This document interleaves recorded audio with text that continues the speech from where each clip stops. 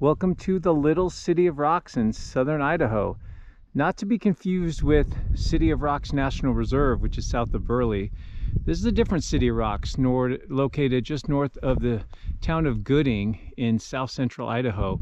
Just this fantastic labyrinth of rocks and, excuse me, tunnels, spires, hoodoos, just an amazing little scenery here set in this canyon. Uh, and we're going to explore it together, look at the geology. Thanks for joining me. I'm geology professor Shawn Willsey uh, out here at Little City of Rocks north of Gooding. We're going to spend some time walking through the scenery a little bit, go investigate the rocks, and then here towards the end, I'll talk you through the geologic history of this region, which is fascinating, tied to Yellowstone, which is of interest to a lot of people, and just really awesome all around. So let's go ahead and head up through here. So this area is a labyrinth of just these rocks sticking out of the ground in all sorts of shapes and sizes. Um, it's best viewed sometimes from the air because you get a better appreciation of how these rocks formed. I think at ground level it looks pretty random and chaotic, but there's actually a pattern that emerges when you look at these from the air.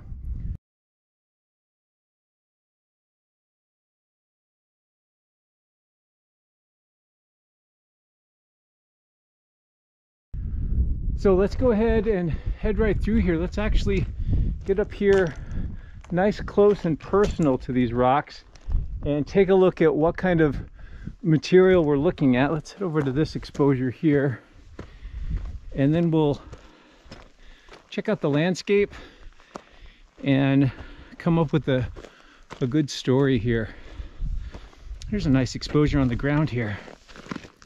So if we look at these rocks up close, you can see that they're crystalline. There's these really nice shiny crystals within the rock itself. Overall, the rock is this, uh, when it's fresh, it's sort of this pinkish gray color. When it's more weathered, it's kind of a reddish brown. But nonetheless, we can see some of these large crystals that are somewhat rectangular. These are crystals of feldspar. But there's also some more kind of colorless to smoky crystals in here, which are quartz. And so the composition of this rock, and being a crystalline rock, this is an igneous rock, a volcanic rock with a porphyritic texture, which means it has some big crystals in it, but the ground mass, the fine grain material here is uh, very small. The crystals are very small in the grayish part. This is a rhyolite. These rhyolites are about 8 million years old. And so the entire little city of rocks is made out of this porphyritic rhyolite. So let's take a look um, at how it looks more in outcrop. As you can see, it weathers into this more reddish brown color. There's probably some iron oxidation that uh, promotes the surface here. In some places it's quite hard, this red uh, sort of varnish that covers the rock.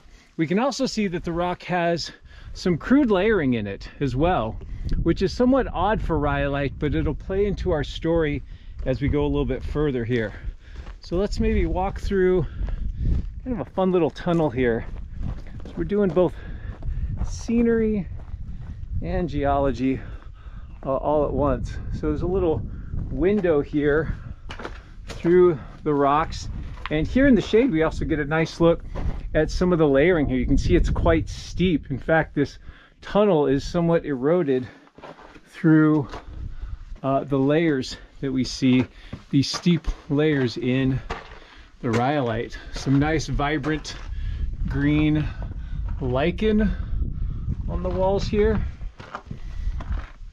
And then we kind of come back out. Let's head down along the stream and take a look at these rocks and come up with a good story here. So these these rocks are all tied to the Yellowstone hotspot. So 8 million years ago, south central Idaho was directly above the magma plume that now lies beneath Yellowstone National Park. So this was ground zero for the site of some truly uh, large, probably, let's say cataclysmic, that's a fun word, uh, eruptions of the Yellowstone hotspot when it was in south central Idaho. Big explosive eruptions of ash uh, that would have just inundated the landscape for tens of kilometers. And now, of course, the North American plate has moved for the last 8 million years and shifted this part of Idaho off of the Yellowstone hotspot and it's now currently underneath Yellowstone National Park in northwest Wyoming. These rocks, believe it or not, are the ash deposits from one of several large volcanic eruptions that came from the Yellowstone volcano. Now, at the time it was here, we think the volcanic center, the place where the vent was and where the volcano was erupting, was more or less centered around or nearby uh, the, the city of Twin Falls, Idaho, in south central Idaho. And it's what's known as the Twin Falls Volcanic Center. So that area would have periodically huge eruptions of ash that ash would go up into the sky, but some of it would collapse back down and initiate these big billowing clouds of hot ash, rock, and gas known as a pyroclastic flow. And these pyroclastic flows from the Yellowstone hotspot are interesting because they show evidence behaving in a way that's a little different from a lot of modern volcanoes. And that is when these big eruptions of ash and these pyroclastic flows would occur. The pyroclastic clouds were so hot that when the ash finally came to rest, uh, it actually um, it actually remelted. So the ash from this pyroclastic cloud actually remelted back into molten rock and then it cooled and crystallized. So rather than a grainy ash rich rock, what we call a tuff. Instead, you get these more solid rocks of rhyolite. But in doing some of the detective work here, we've been able to determine that these rocks, um, these rhyolites, originally were deposits of ash from these big pyroclastic clouds. And these are sometimes called rheomorphic ignimbrites. And so these rocks, again, were so hot that when they came to rest, they remelted, coagulated into lava, then solidified into rock. And so they bear little resemblance to the ash that they originally were. Um, but using microscopes, um, we can get in there and look at some of the details and see that these rocks actually have flattened pumice particles and other characteristics that tell us they were erupted um, as pyroclastic flows. So really cool history. And you see these in various places throughout the Snake River Plain related to the Yellowstone hotspot. You also can see in a few places, that's why I'm walking back. I walked right past the outcrop I wanted to show you. Um, but you can also see, hopefully this shows up well with the lighting, places where it's actually folded over on itself. So these hot clouds of ash, when they remelted into lava, they sometimes were sort of oozing and, and, and flowing and folding over the top of themselves. And there's a nice fold right here. You can see the lines running through this material. And there's even some holes here, which may be some of the gas bubbles here. But this goes up and actually rolls over on itself. Again, let me try to get that in as best I can for you here. Uh, right here where it kind of goes into the kind of lighter colored material. So you can see that it's kind of rolling over on itself. The layers actually are folded over on themselves. You can see it a little bit here as well with this dark layer here.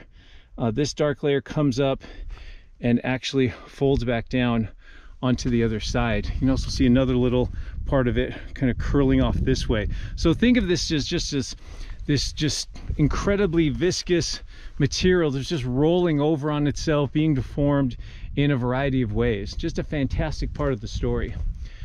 And so that's the story of the rocks here. These um, these rhyolites that formed from these pyroclastic clouds. The second part of the story is this intriguing and inviting landscape of just rocks sticking up out of the ground. And for that, again, a good view from above helps to understand what's going on here. So when these rhyolites were cooling, of course, when they're cooling, they're contracting. When they're contracting, they're developing small fractures, cracks that run through the rocks. And so you can see there's some pattern uh, from the air of the fracturing that occurred in these rocks. And then if we add some of the effects of the basin and range extension, the stretching that these rocks have undergone in more or less east-west direction in the past um, 15 or so million years, and then if we compound the, that fracturing, the stretching, and then compound that with the fact that we get uh, severe freeze thaw cycles here in this high desert setting. We get water in these fractures in the rock. We get periods of freezing, which expands the water, turns it to ice. That expansion splits the rock apart. And over time, you develop then these fins, these little spires and pinnacles of rock that stick out of the hillside. And that's more or less the story of the little city of rocks here north of Gooding. Just this fantastic landscape uh, that records explosive volcanic activity from the Yellowstone hotspot. Uh, and it was all shaped by the effects of fracturing and weathering over the past 8 million years. So just a fantastic place, one of my favorite places to come, especially in the spring when it's green um, and the birds are out and there's a little bit of water flowing through it really just a spectacular landscape. So thanks again for joining me. Hope you appreciated this video. I uh, appreciate all you do to support the channel. If you like this video and you want to support uh, my efforts for geology education, there's a thanks button to the bottom right of the viewer.